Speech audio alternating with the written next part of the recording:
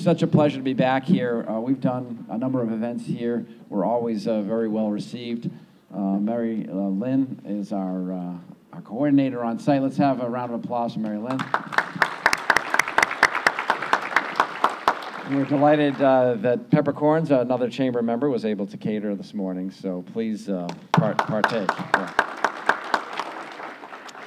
So last night you expanded your, your entertainment, right, with the Red Sox winning, designated hitter hitting a three-run homer, right? We have some Red Sox fans here, I can tell. There's a few tired folks in the uh, audience, right? Well, get used to it because uh, this is going to continue on with these late games.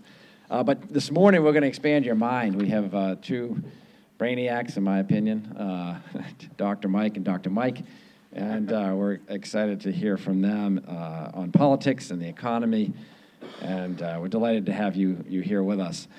So, um, just to, I just wanted to touch on, on, on this campus. So, a lot of people mentioned to me that they had never been out here. There's about uh, 20 acres of land here. This is the former Knapp Shoe. Uh, it was converted back in the 80s, and uh, we, we have our, the, the Concord Foods new president who's going to tell us a lot more about it. But just in a, in a, in a kind of a nutshell, 200, over 220 employees, uh, so 20 acres, 220 employees, and over 200 products uh, made at this facility. Uh, extremely pleased to have them in our community and uh, as a member of the chamber.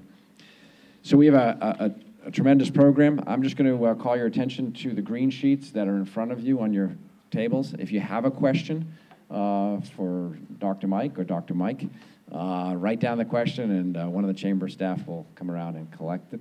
And if we have time at the end, we will a little Q&A. Now it's my uh, pleasure to introduce our MC for this morning's program, Fran Dillon from Stonehill College. Fran. Okay, I don't want to rub it in, but last night I was at the Red Sox game. That's the good news. The bad news, I got home at 2 o'clock in the morning, which is like eight hours past my bedtime. So this morning I may appear to be a little dazed, confused, and disoriented. Now, those of you who have been here before and heard me be the MC, that won't surprise you at all. You won't notice any difference. But for new people, blame it on the Red Sox last night.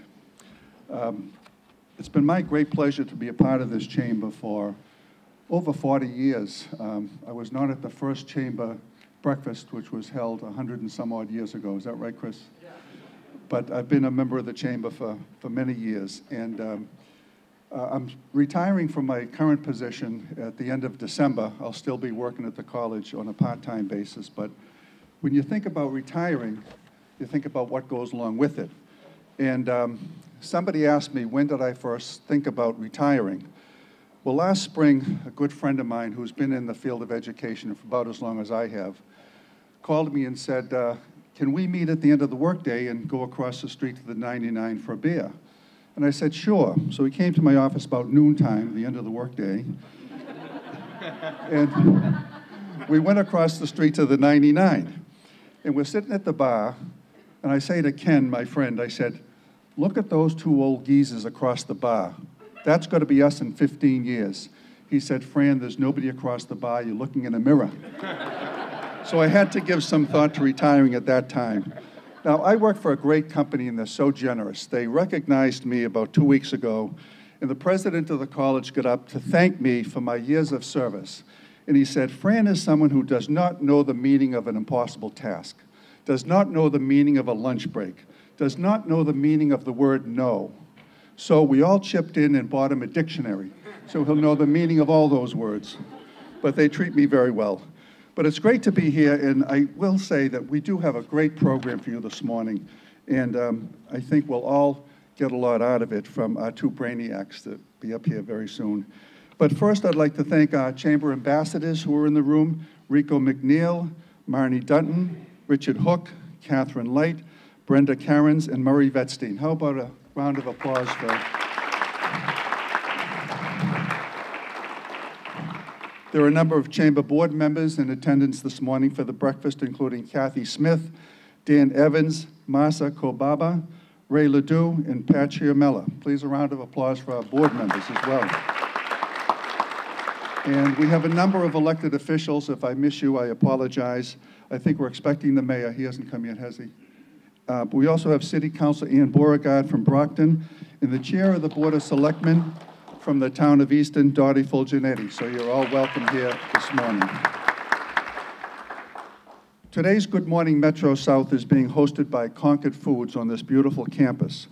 Concord Foods is a leading supplier of retail food products and custom ingredients to nationally recognized supermarkets, food service operators, and leading food manufacturers. The company began in 1968, offering lemon and lime juices packed in fruit-shaped molded plastic bottles. Today, joining us from Concord Foods is President and CEO Terrence Dalton. Terrence has worked in the food and beverage industry for more than 25 years. Early in his career, he worked for large consumer products groups such as PepsiCo, Snyder's Lance, Danone Group, and Sara Lee. Please welcome Terrence Dalton. And interviewing Terrence this morning is our own Masha Kobaba. So could you please tell us about yourself and your experience in the business? Yeah, so um, I've been in the food business, like we said, over 25 years. Um, I've been at Concord Foods uh, for about two years. I've had the task to fill the shoes of Peter Neville, which is uh, hasn't been an easy task. Uh, Peter is a great, great person, uh, pioneer in the uh, in the food industry. Um, but the most exciting thing about being at Concord, number one, you know, you see our campus here; it's pretty special, uh, and also the people are very special. Most of our people are from Brockton uh, a big Cape Verdean influence. Um, and it's just in a really great community to build around and also grow our business with the people of Brockton. So, thank you. And so tell us about the array of products that Concord Food offers and the employees and recent growth. You were telling us about the Sure. great employees, so we'd love to hear more about them. Yeah, so uh, the good news is our business is thriving. Uh, we are we're growing at double-digit growth. Uh, we have uh, three business units. I'd like to say we have our, our consumer products group, which you probably you're most familiar with, which you see our caramel tubs. Hopefully everyone goes out and buys some for the uh, apple picking season. We also offer our, you know, obviously our mainstay, which is our lemon lime juice that you, uh, you'll probably see. We have a big share of that nationally, about, about 80% of the market share in the country. Um, Another area uh, that we do is industrial and food service. So we're a big supplier in the confection, also the dairy industry, uh, whether it be ice cream, yogurt. Um, so a lot of our products go into products such as Hood, uh, Stonyfield, uh, Danone, so on and so forth. Uh, and also the confection industry. So we, we service the Hershey's of the world, um, also the Ghirardelli, the Lindt of the world as well, with some of our caramels and our variegates. And then our other business, which is our fastest growing business, is our food service business. So um, those of you who are coffee drinkers, it's probably our biggest segment, and we service the Starbucks, the Paneras, and the Dunkins of the world. And if you get a caramel or a mocha in your coffee, that most likely is coming from Concord Foods. So we've, can anyone, can everyone hear me, by the way? This mic was a little off. Can you hear me in the back? No? So let's try this, okay.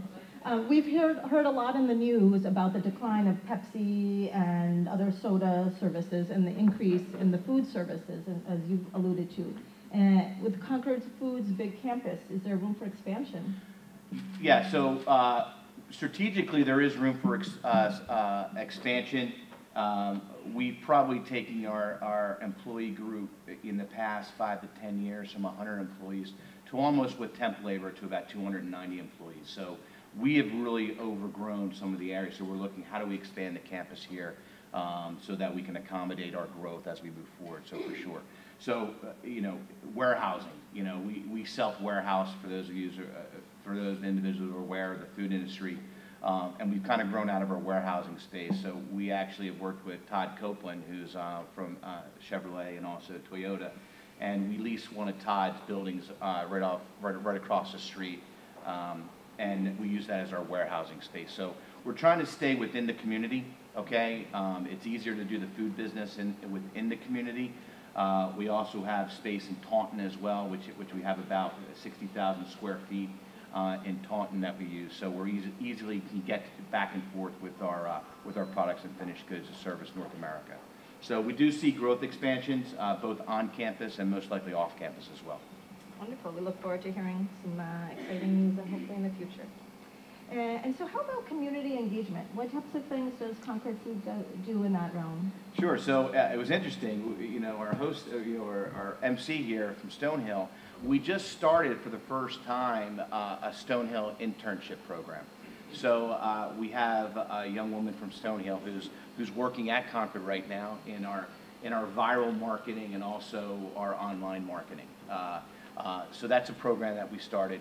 Um, we also are very active in the community. So like I said before, most of our employees are uh, from the Brockton area. So we give a tremendous amount back to the Brockton school system uh, because our employees have children within that school system. Um, we're a very, very big supporter of the, uh, the food bank, not only in Brockton, but also in Boston.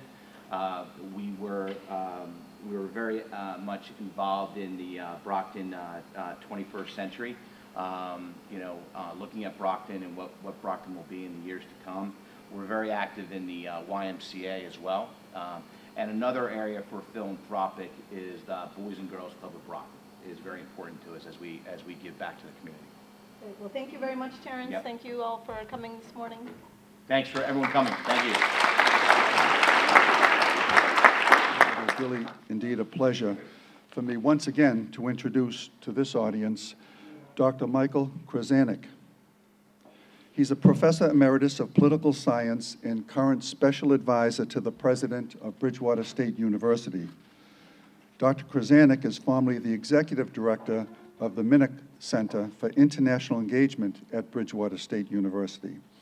He is the author of eight books on U.S. foreign policy, American Government and Comparative Politics. His most recent book, written with his daughter, Ian Careth is the 25 issues that shape American politics. He is quoted regularly by local and regional newspapers on international uh, related ins instances in international affairs and American politics. It is my pleasure to welcome back to the Metro South Chamber of Commerce Dr. Michael Kryzanek. Mike?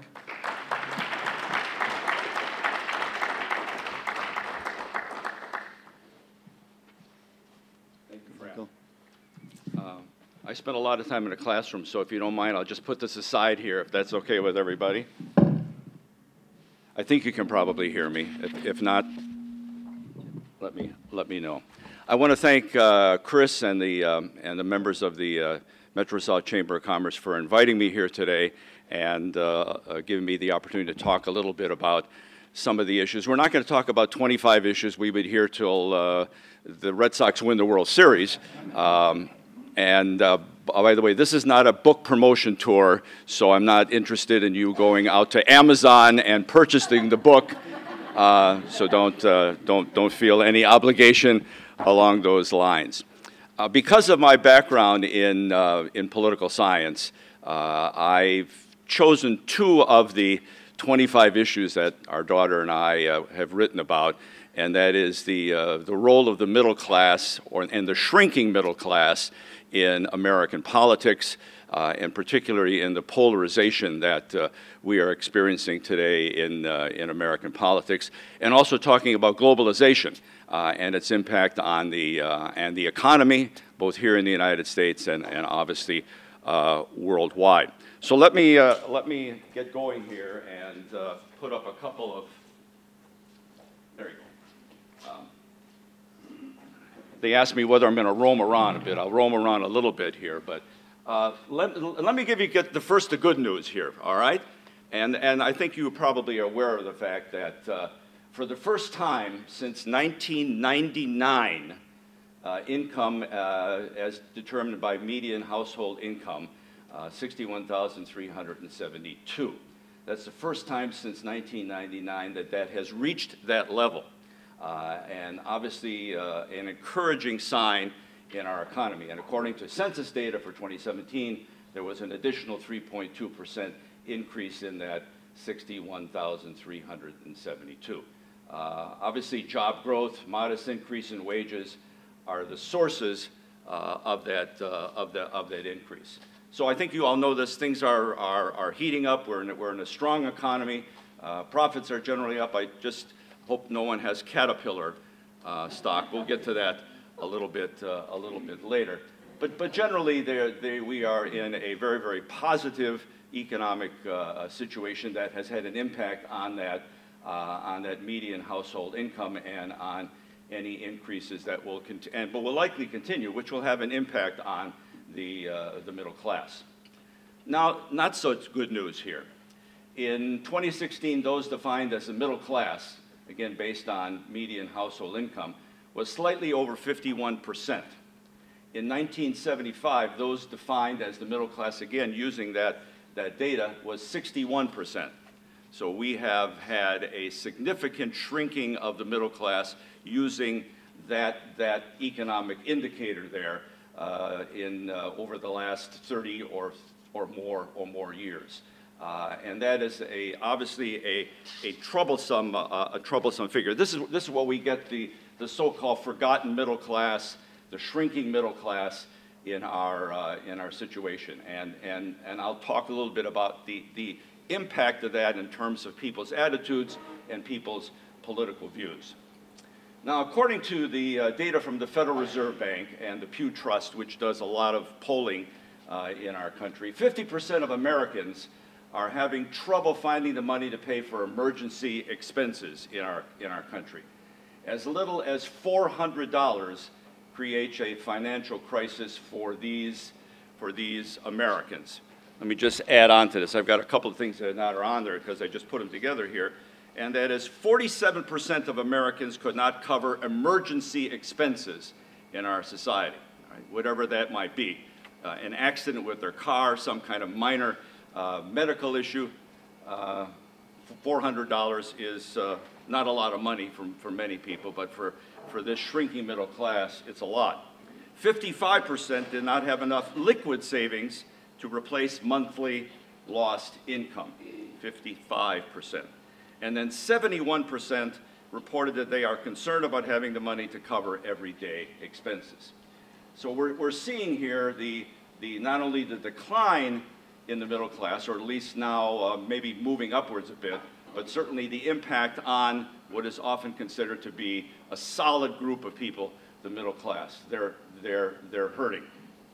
Now, the Great Recession, which uh, all of you have certainly lived through as we did, stuff, snuffed out uh, any middle class incomes advances made up to that point, especially among minorities, and we'll get to that in a second.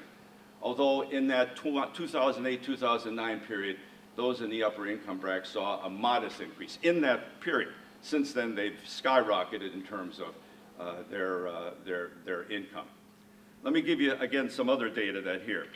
African Americans lost 50% of their wealth from 2008 to 2009, 50% of their wealth.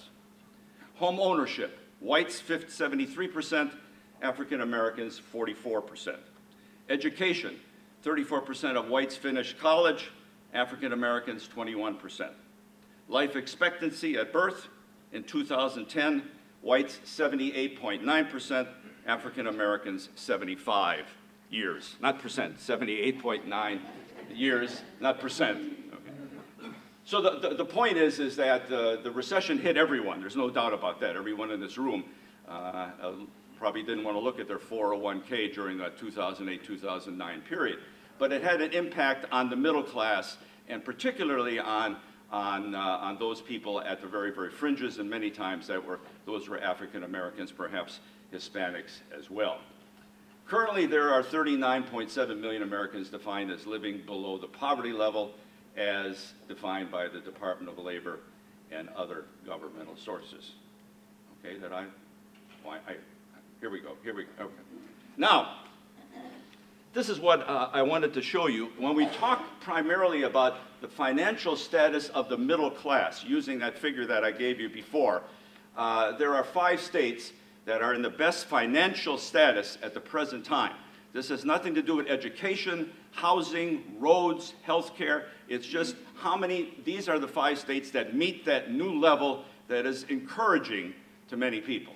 South Dakota, Iowa, Florida, Wyoming, and I have no idea when Mississippi's there, but this is out, this is out there uh, as well. Again, nothing to do with anything related to social, economic, or social uh, characteristics, but these are the, the five states that have the best so-called financial status of the middle class.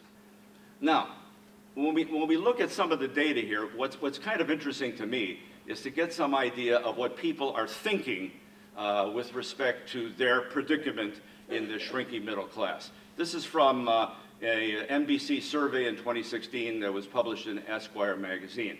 Question one, about how often do you hear or read something in the news that makes you angry? Among white males, 73% that they get angry at least once a day. Once a day. The most angry were those in what was described as the middle of the middle class, earning between 50,000 and 75,000. Question two, do you think the American dream, if you work hard, you'll get ahead, is alive and well?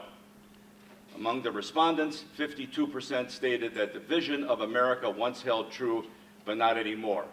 Those respondents between 45 and 64, particularly white males, showed the least confidence in the American dream. Again, that white male 45 to uh, uh, 45 to 64 seems to be a, an ongoing uh, issue.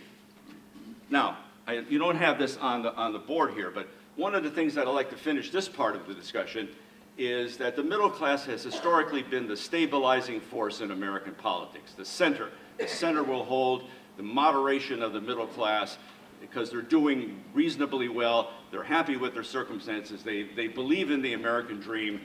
Uh, that, that's disappearing now and creating enormous problems in terms of how they look at politics, how they look at politicians, how they look at Donald Trump, uh, how they look at their opportunities for the future.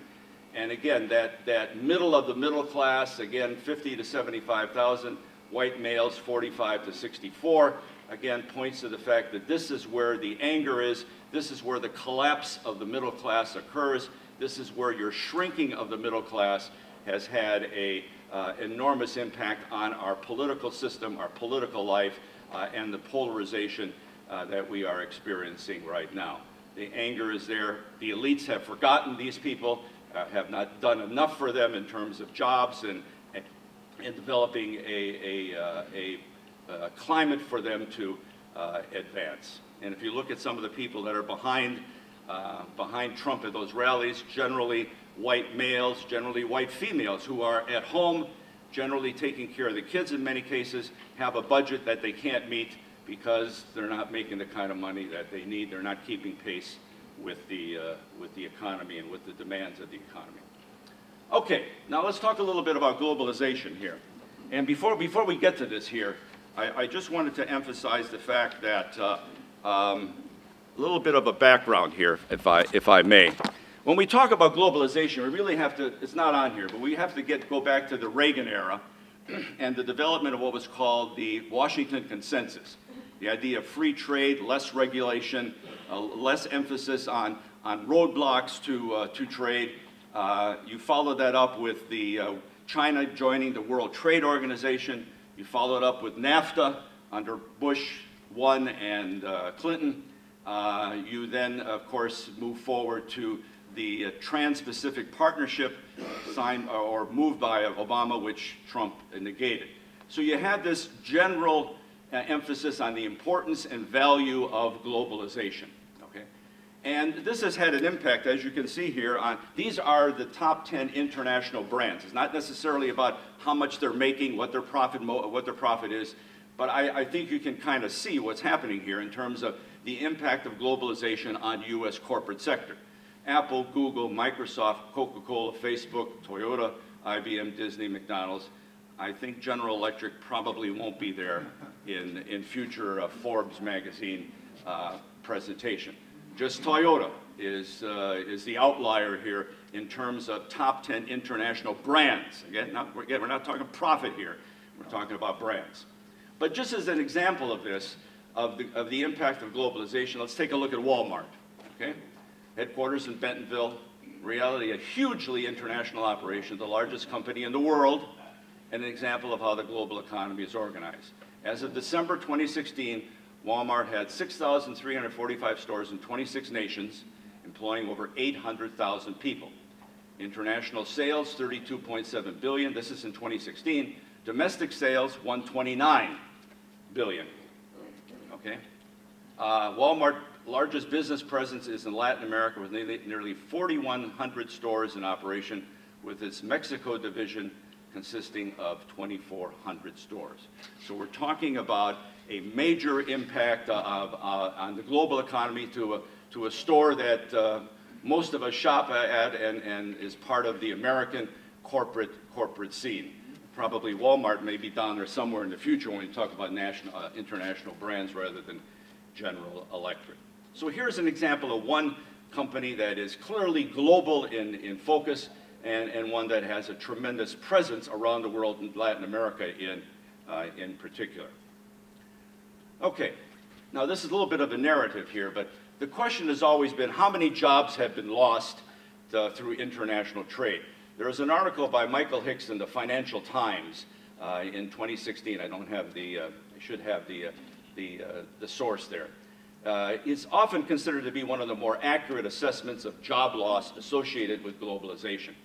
Now, Hicks shows that about only 13% of the estimated 5.6 million job losses from manufacturing during 2000 to 2010 were caused by international trade.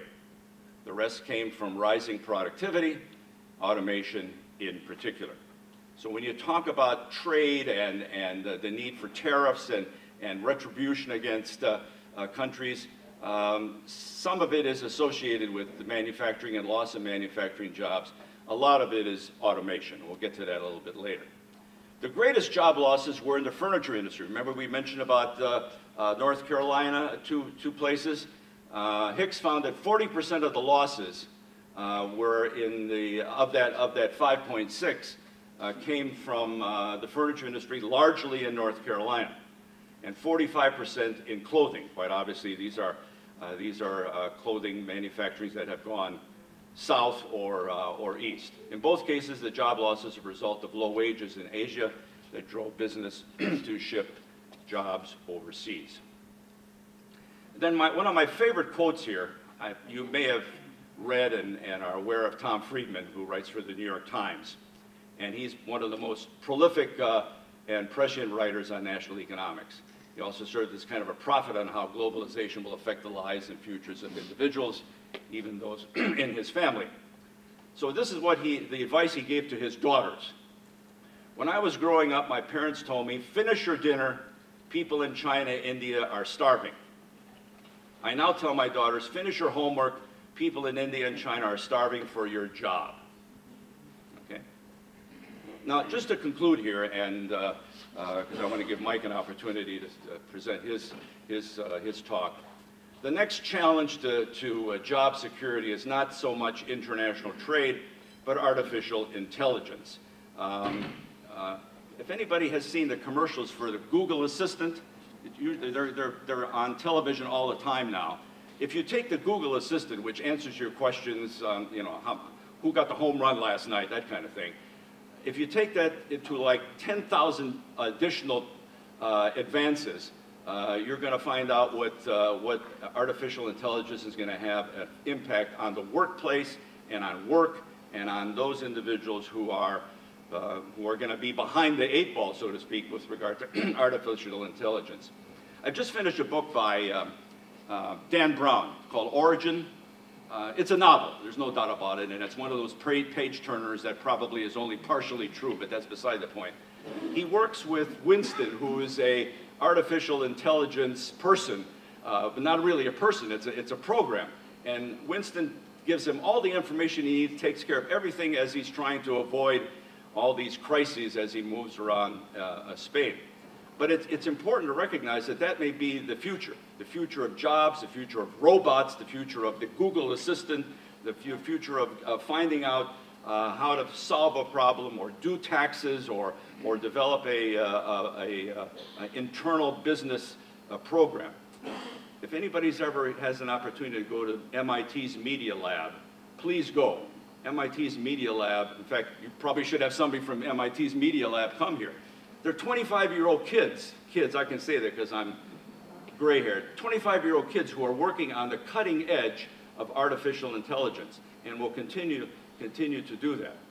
But the, the point being here with respect to job loss and globalization is that uh, uh, tariff uh, regime of, of, of, uh, of President Trump may not have that much of an impact on job loss. It's rising productivity, automation in, uh, in particular, which is causing the changes in our, in our society and in, in, the, uh, in the workplace and in the, uh, in the economy. And our young people and everyone better be, uh, better be uh, in, in shape for uh, challenging India and China and also uh, artificial intelligence uh, as, we, as we move forward. It is a brand new world. It is an exciting world in many respects, but it's going to change the workplace dramatically in the next uh, 10 to 15 to 20 years. So I'll leave it at that.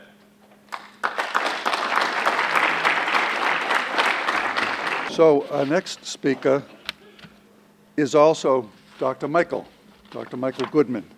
And he has quite a resume, and I'll highlight it for you right now.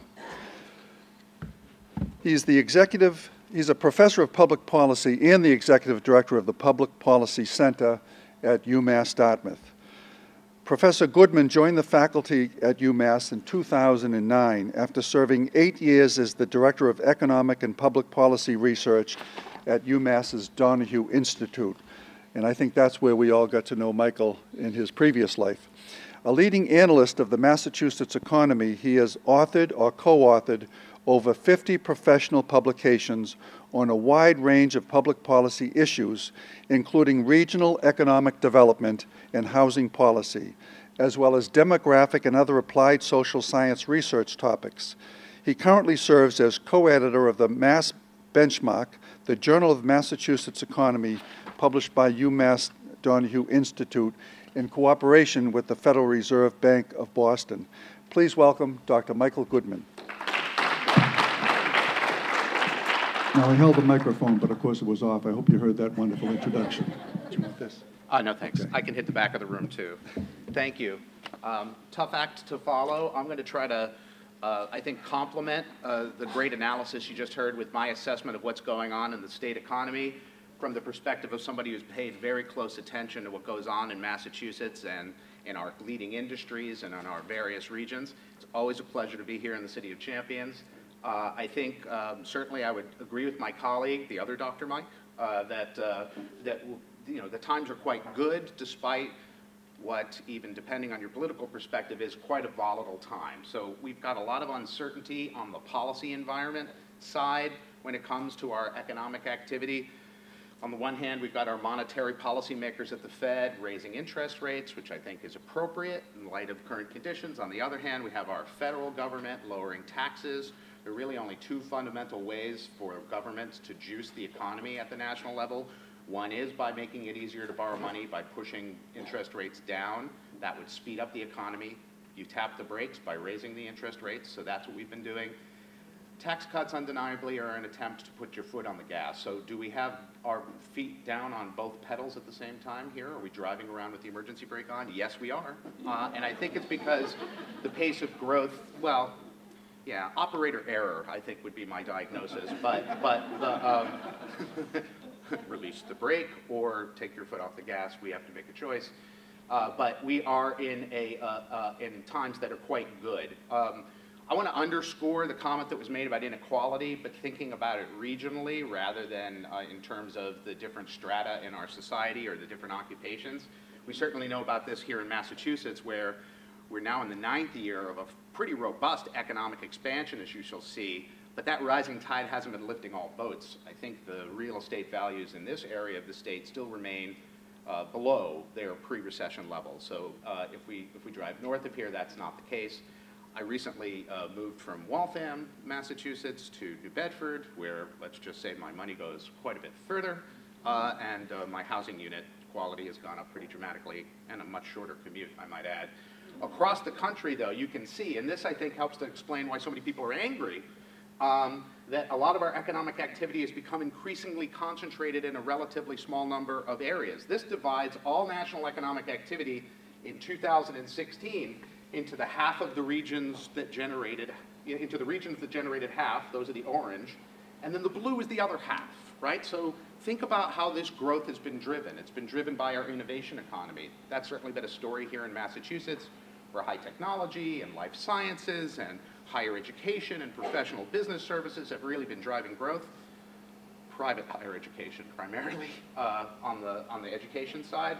Um, and areas that are strong in those, um, in those spaces, including the greater Boston area, which drives the New England economy, have been thriving. Everybody else, not so much. And so that rising tide hasn't been lifting all boats, and that helps to explain, I think, some of the dissatisfaction in certain regions of the country. I suspect if you overlaid this map with a political map, it would help explain some of the, uh, the, the um, uncertainty and um, anger and uh, unexpected political outcomes that we've been experiencing in recent years.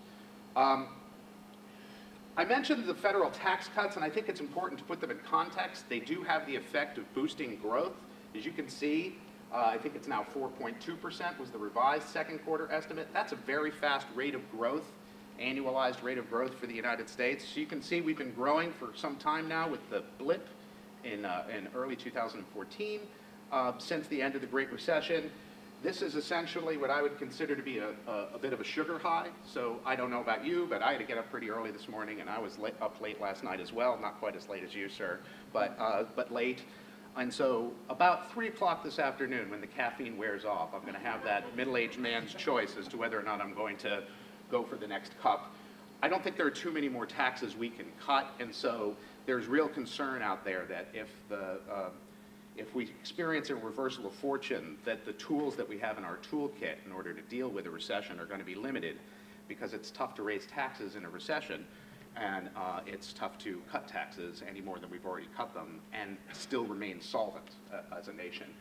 The theory behind the tax cuts was we've got all this money that's being booked as profit overseas to avoid our taxes, we'll lower the corporate tax, all that money will come pouring back into the economy, and then businesses will take that money and and invest in productive activities that will lead to job creation and solve the problem that Dr. Mike uh, so nicely outlined. That's not really how it's been going. Normally, the, the relationship between the federal budget deficit, that is the annual shortfall um, in, um, in, in, um, in revenues over spending, which is throughout our entire history, since World War II certainly, been negative most of the time, except for in the late 1990s, when the economy goes down, see that red line, uh, our, our, our deficit um, tends to increase. Um, you see right after the Great Recession, that last gray bar, we had a giant spike in the budget deficit because we were spending money in order to try to resuscitate the economy. That six, seven hundred billion dollar in, uh, uh, investment uh, in the uh, stimulus was there. Normally, though, as times get better, as they have been for almost a decade now, um, you see the uh, deficit get smaller, but not if you lower the taxes. So the jury has been back for some time now that lowering taxes does induce economic growth, but not enough economic growth to generate the revenue that you're losing from the tax cuts. I think there's only a few people left in the country that truly believe that in my profession. Unfortunately, most of them appear to be in charge uh, uh, of the decisions. Um, this question of whether or not these tax savings, corporate tax savings, are going to find their way into productive use in the economy is another debate that's going on. Over the last several decades, we've seen a shift in the way in which businesses manage their, um, their capital. We haven't seen as much net new capital formation, so think, now I have more money in my pocket, I'm going to invest in a new plant, I'm going to expand a facility like this, I'm going to buy new equipment. Less of that has been happening over time as the economy has changed to a more knowledge-based profile where heavy equipment and industry um, are not as big a contributor to the overall economy, although I will say that the uh, death of manufacturing is vastly overstated. Uh, Dr. Mike was absolutely correct. We employ dramatically fewer people in manufacturing than we did a generation ago, but we produce more goods than we've ever produced before. So it's that productivity and that value added that's generated wealth that wealth just hasn't translated into blue collar and middle class jobs because that's where the savings and the wealth have come from, from replacing human labor with automation and through competition, as was correctly pointed out.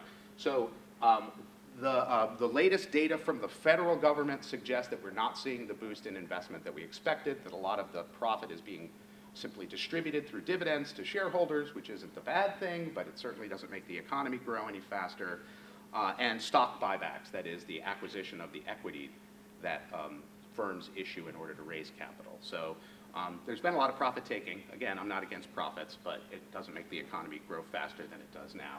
Here in Massachusetts, we are cooking on all cylinders. So in the second quarter, the U.S. economy grew at a 4.2% annual rate.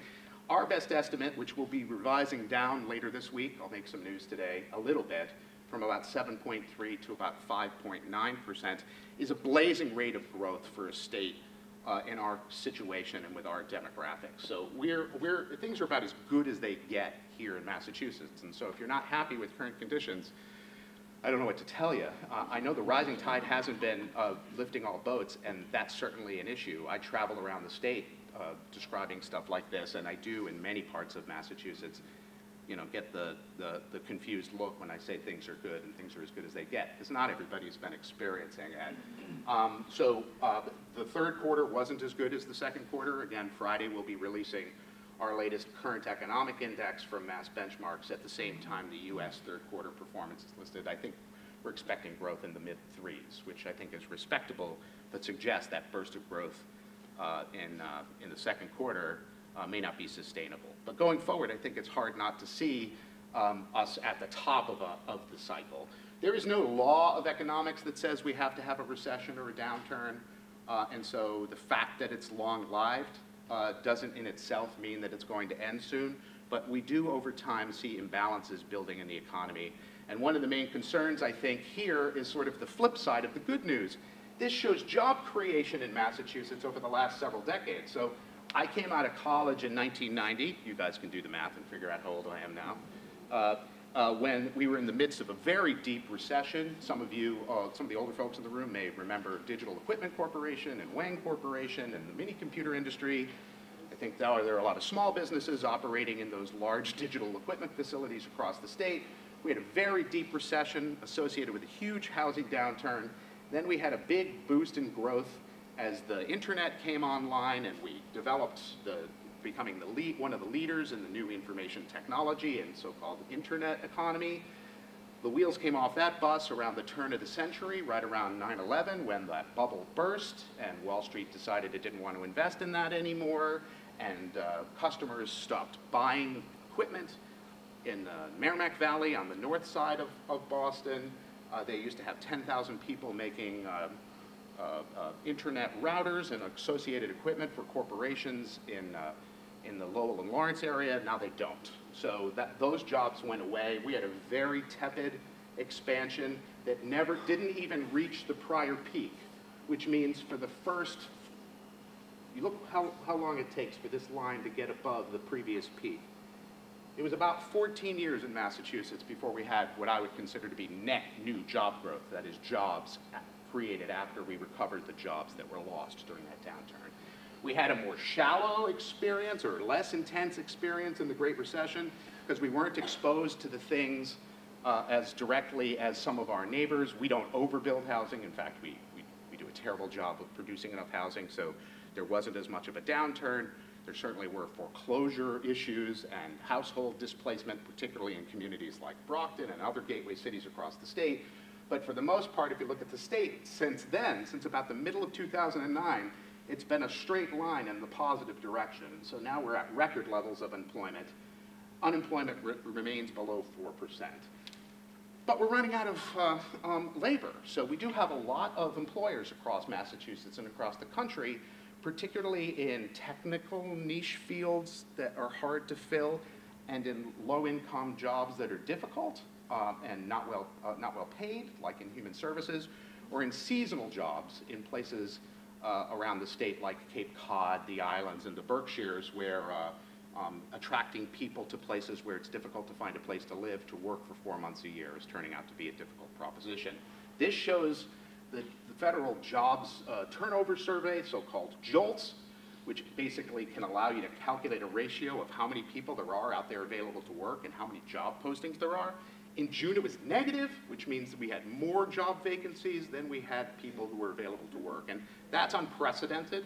So this is about as tight as it gets. Um, so in Massachusetts, this has long been a challenge because, you know, we don't produce enough people the old-fashioned way.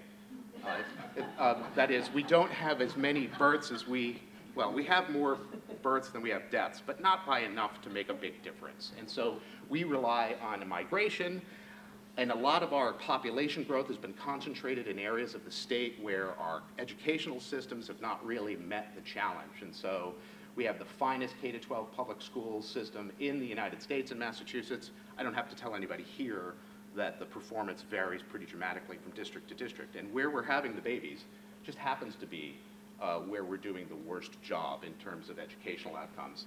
Even though the labor market is tight, there are still people out there who are looking for work, who are having a hard time finding an opportunity even in this hot economy. This shows the broadest definition of unemployment in the United States. It's very similar uh, to the pattern we've seen in Massachusetts. That's the people who are unemployed, which I mentioned is now below 4% of the workforce. People who are part-time workers involuntarily, that is, they would rather work full-time, or people who are discouraged, that is, they say they've given up looking because they can't find anything suitable. We're just about 7 to 8% of the labor force there. So we've got around just under 4% completely unemployed, the, the balance uh, um, underemployed. So you'd think these folks could slot into some of these available jobs, but at this point, these folks are the very difficult to employ. And so tough to turn a, a, a displaced worker with uh, poor levels of educational attainment into a nurse or, or into a computer scientist uh, or, or uh, into a professor or, um, or into a skilled manufacturing worker, places where there has been job growth of late. So we do have a disconnect, I think, between the skills of the people who remain available to work. Of course, we've been able to historically uh, compensate for our low birth, way, uh, birth rate um, by importing people from uh, other parts of the country and other parts of the world. Demographics can get complicated, but the population changes in fundamental ways that I think are pretty intuitive. You're born, you die. Um, so my wife and I, we have one kid. Uh, there's two of us. There's one of him.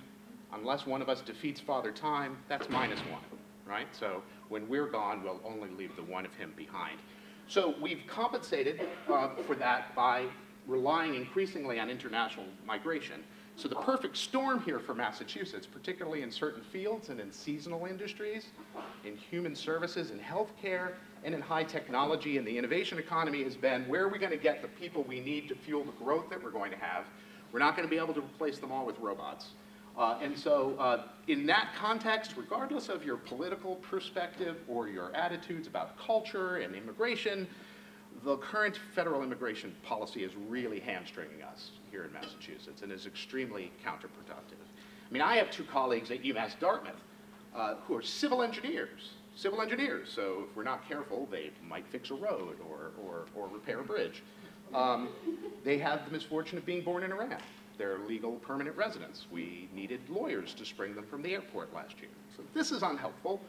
Um, we rely on international students and international labor and let's just say we haven't been the most welcoming place as of late. And so I think one vulnerability for Massachusetts and this region is if these policies continue, it's going to be very difficult for us to obtain the labor that we're going to need to sustain our expansion. And so in a strange, perhaps counterintuitive way, this policy is harming us uh, directly.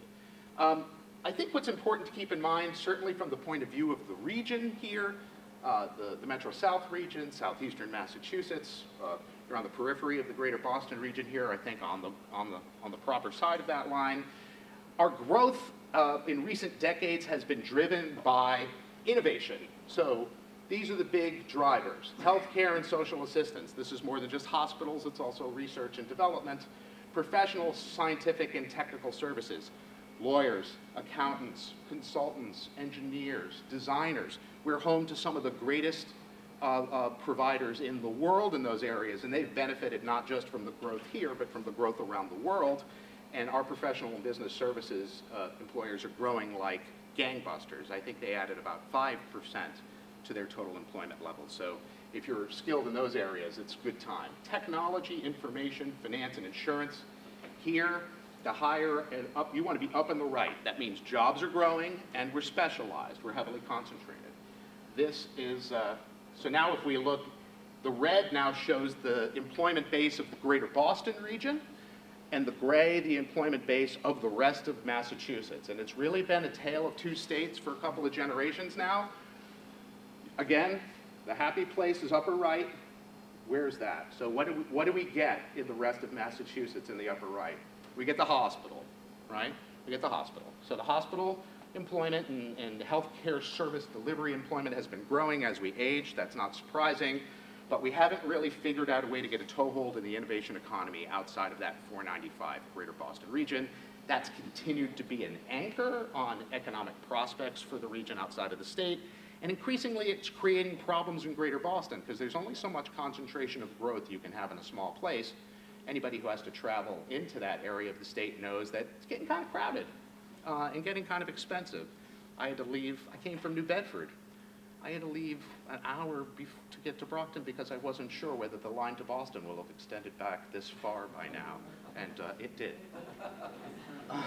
Uh, real estate development activity is another stark indicator of some of this imbalanced growth and concentration in one region of the state. This shows the value, the added value to property tax bases in our cities. The blue bar is the city of Boston. The red bar is all the gateway cities, including Brockton. Um, and you can see over time the development, the added value each year, that blue bar used to be more or less balanced, sort of 60-40 coming uh, be- before the recession. But we had a period of time where there was essentially next to no economic activity across our cities that weren't named Boston.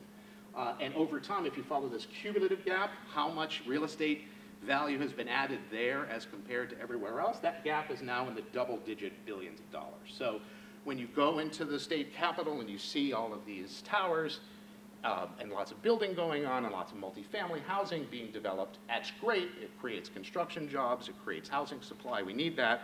If you need a $4,000 a month two-bedroom apartment, we've totally got you covered. Uh, but it's very much been feast or famine uh, for Massachusetts.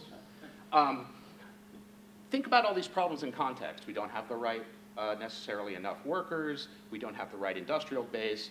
We've got to sort of preciously guard the, uh, the foreign-born workers that we're able to achieve, whether at the lower end of the skill spectrum where they're needed in great numbers, or the higher end of the skill spectrum where they're needed in great numbers. We're making it harder too by putting upward pressure on the cost of living. I mentioned the $4,000 a month two-bedroom apartment. I'm not kidding. Uh, housing affordability has been an issue, and there's a lot of things that are going on there, but part of the problem is we simply don't make enough housing. So we used to make housing, remember, but black, uh, whether multifamily or single family, but for some reason, over the past couple of generations, we've stopped permitting it. And my theory, and I don't have to run for office, so I can say this, is that our local governments resist housing often for very parochial and counterproductive and short-term reasons. That puts upward pressure on housing values, which is nice if you own a house, but it makes it increasingly difficult for our children, for our municipal workers, for people just getting started around here to find a way to live uh, in Massachusetts. And unsurprisingly, we lose them to other states. So our trade balance in domestic migrants, that is the number of people coming into the state from out of state to stay as opposed to those leaving to go to other states, has been negative uh, during this entire period. I think we're seeing a surge in cross-border commuting and maybe even some relocations in response to the hot job market. Some of these vacant jobs pay really, really well and make it possible for people to relocate here. But if we don't deal with this problem by completely revisiting some of the ways in which we regulate the use of our land, uh, I think we're asking for trouble. Um, we obviously have a number of different major infrastructure problems at the national level. I know you're fortunate enough to have a commuter rail here uh, in the area, unlike us uh, down further south. Um, I know as a former, up until August, Boston area resident who relied on the MBTA, we've had some problems there. I know there are regional transit authorities that are sorely in need of investment. Um, but part of the problem is we've had issues managing the system. I'm all for better management and good government, but there are some things you just simply can't manage your way out of. This is a switch on the MBTA. I stole this from Secretary Stephanie Pollack, so credit where credit is due. I don't know if you can see this, but it says, right, patented 1915. Now, I'm not an engineer. But I would guess that we've made some progress in train switches since 1915. And if I had a car, right, that was patented in 1915, and it didn't start this morning and I wasn't able to come, I suspect your advice would be, dude, get a new car, right? So I think we need a new car. So uh, currently, leadership um, just doesn't seem to be willing to do that for reasons that continue to baffle me. Um, I want to talk a little bit about trade, which um, I think baffles me no end. I'll defer to the political scientist on how we ended up in a time where Republicans are against free trade. Um, I don't know when that happened. It was about 18 months ago, it looks like. So I'm not a, uh, I'm not going to stand here in Brockton and say trade is an unequivocal good. I mean, we're in a region that was significantly disadvantaged by trade. But if you look at the big picture nationally, there's no question that the nation is better off trading than not trading. The net benefits, the winnings over the losings are snake. What we've done a terrible job of is helping compensate those that have been displaced. So it's not buying and selling things that's the problem it's taking care of our sectors that have been disadvantaged, like furniture, like I, I hear you used to make shoes around here, right? So sh American shoes are awesome. Someday I aspire to afford a pair. Uh, and they're great, and they're high quality.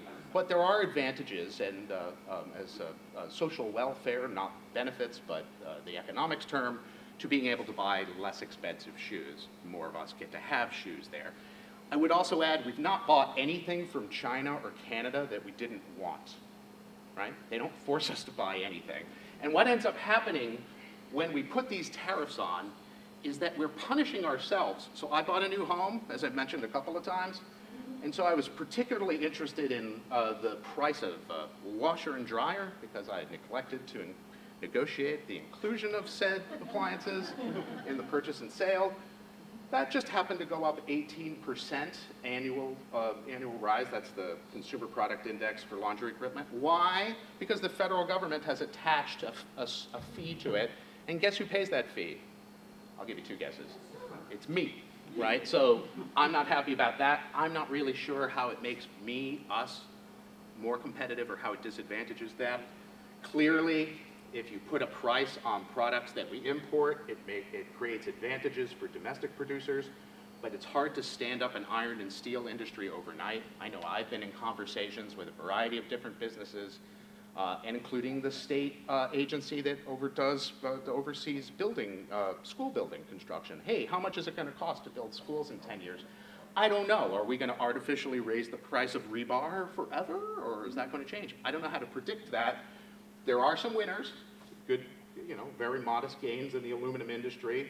Someday, if we can retrain all the steel workers to do things that we've moved on from some time ago, we may have opportunities there. But the steel that's being imported and used um, right, raises costs. So the reason Harley Davidson is moving overseas is because if we make the parts more expensive if you make it here, and it's less expensive if you make it there, I don't know, you do the math. They're going to make it there. So uh, suffice to say, trade wars are not easy to win. Um, now, I think I want to leave you, even though I think I'm, I'm optimistic and bullish on Massachusetts, if we can meet some of these challenges, housing, demographics and labor supply, transportation and other related infrastructure, but I do think we are coming to the end of a pretty good run.